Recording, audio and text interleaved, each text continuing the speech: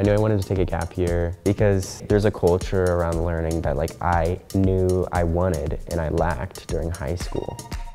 TBB forces you to learn and take personal control of your learning as well. We're not looking for what's right or what's wrong.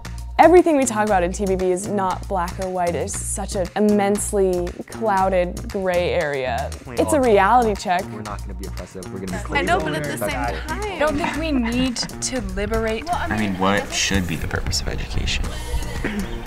Throughout these two units, I've learned that, yeah, having more questions and answers are a good idea. This experience sets us apart from the average student who just goes off straight to college from high school. It's like that hyper awareness of mm, how our actions affect other people.